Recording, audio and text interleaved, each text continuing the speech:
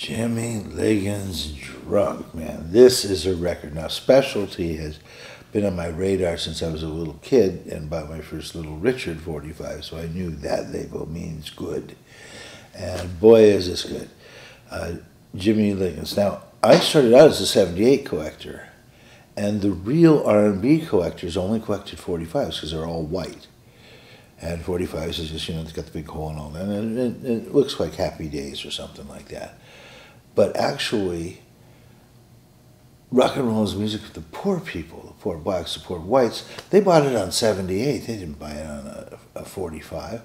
So I didn't know it was uncool for years to have these records. In fact, uh, Ron, Ron, um, uh, Ron McKernan uh, is how I knew him, but Pigpen.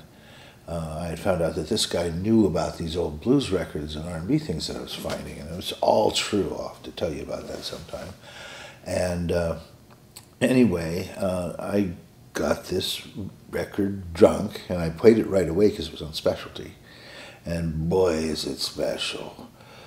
Boy, is this a special record! Uh, and so it used to be not on most people's radars, not any kind of top forty.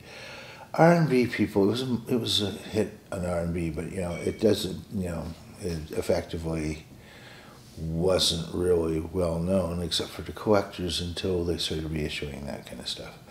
Uh, so anyway, drunk, reach for the knob and miss the whole damn door.